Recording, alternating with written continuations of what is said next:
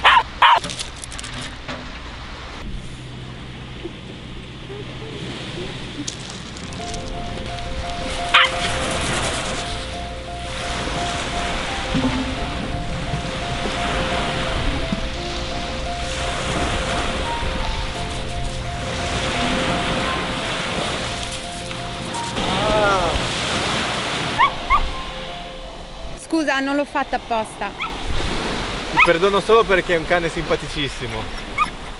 Come si chiama? Non lo so. Non lo so. Beh, è un nome originale. L'ho trovato, è stato abbandonato, cerco un nuovo padrone. No, non abbandonarlo anche tu. Posso aiutarti io, sono un ottimo dog sitter.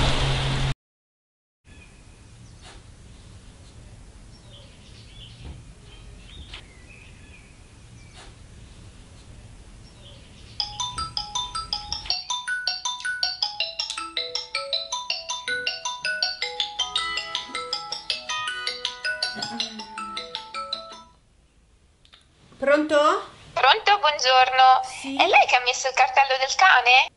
Certo. Quanto è lungo il pelo? Perché mio marito è allergico, ma magari il cane può dormire fuori in terrazzo. E poi vorrei sapere, lei è sicura che è un bravo cane, mica baia? Perché siamo Non spesso so, fuori per so, lavoro, non non so. vorrei i vicini si lamentassero. Inoltre vorrei sapere, secondo lei quanti anni ha? Perché se è troppo vecchio non lo prendiamo. 25